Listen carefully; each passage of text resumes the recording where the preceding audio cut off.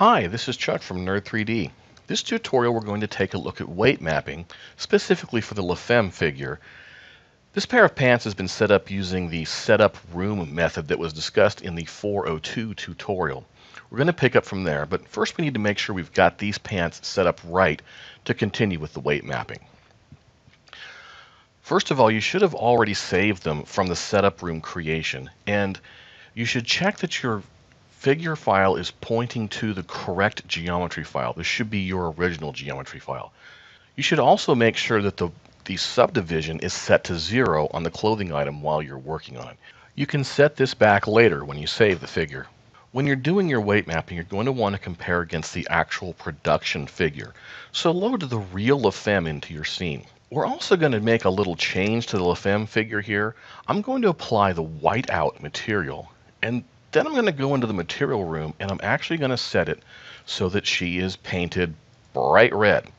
This is going to make it easier for us to see any time that there's poke throughs happening in the figure. I only need to set this for the torso and the limbs. That way we can see any place that it's not fitting like it's supposed to. Now obviously we're going to need to have this conformed while we're working on it as well.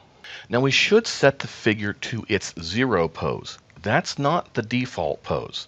Use zero figure from the figure menu. Don't use the restore command. That's not the same thing. We need the figure to be completely zeroed. Now what we're going to do is to make our life easier a little further down the road, we're actually going to create an animation here. Now frame zero is going to be at our zero pose. And then we'll go out to say frame five and set all the keys for that frame the angles we want to set keys for are going to be the angles that there happen to also be JCMs for. That's going to make our life easier down the road. LaFemme has JCMs for the forward bend at 80 degrees of rotation and the limit of rotation, which is 120. So we're going to set keys in our little conforming rigging animation at those two points. So at frame 5, we're going to set that bend to minus 80. And then we're going to go to frame 10, set another keyframe there, and we're going to just go ahead and bend that up to its limit. And we'll just set this for all the body part poses that are going to be our primary targets, let's say. And there's also a JCM for the back. And of course, we'll want to watch that back pose to make sure everything works like it's supposed to. And of course, there is also a side to side, which we'll set here. You may also need to set some compounds. LaFemme has a compound JCM that triggers when the thigh is bent and rotated to its limits. So we're going to add that one in too as one of our primary keys for setting the figure up. Now another important thing is that we have the figure set up so that we're only editing the weight maps. We do not want to edit the JCMs at the same time as the weight maps. And here's part of the reason for this is that if you make even the slightest change to the figure's weight maps, it's going to wreck the JCMs and you'll have to start over. So you want to get the weight maps locked in before you start messing with the JCMs. But how do we separate them out? Well, it happens that LaFemme has a feature built into her that makes this easy. If you go to the body of the LaFemme figure, you're going to find in the JCM controls JCM master switch. Set this to off. And you'll notice when I slide that to off, the shape of the figure changes a little bit here. And what's happening is it's turning off the JCMs for everything. The figure, the clothing, everything is turned off. So I'm going to set that to off for each of my primary poses. I probably should have done that first. So with that turned off, now we can isolate just the weight maps without being interfered with by the JCMs. I'm going to select the thigh of the clothing item and then use Control Shift J to open your weight mapping tools. Pick the bend and you may notice there's a little bit of ripple going on in this joint. This is the way it copied naturally.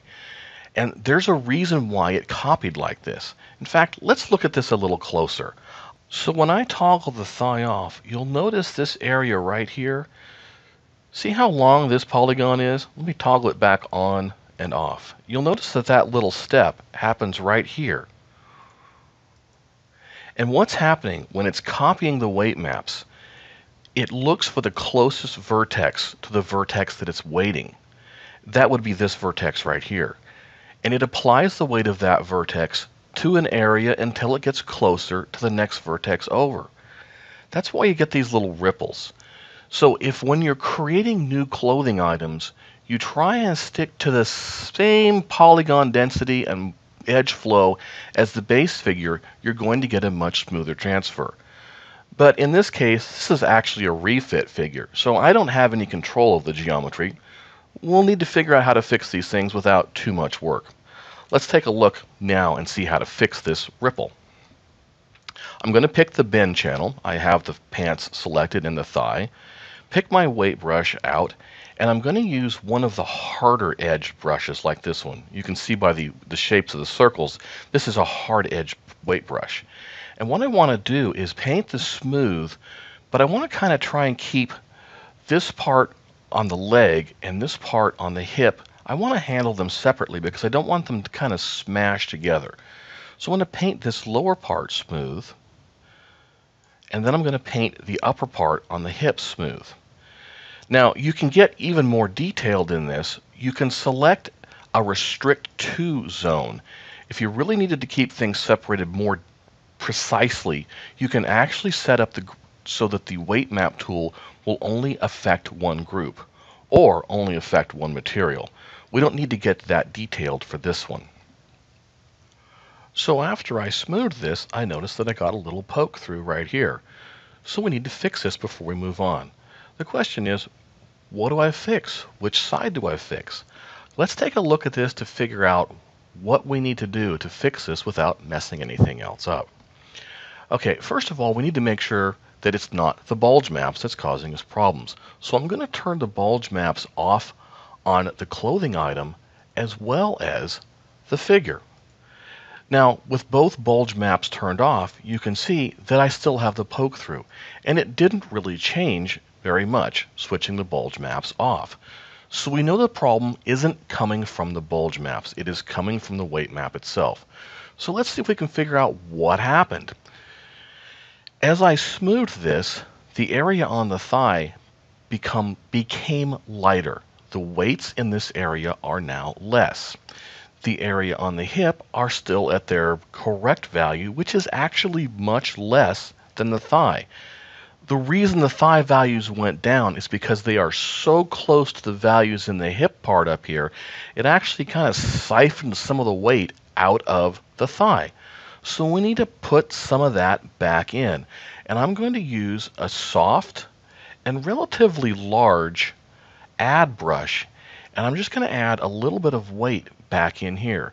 And you can see how while it pushes the thigh up and backwards, making it rotate more, at the same time, it's making the hip part rotate more. So you need to be careful when you're adding these weights in that you don't put too much.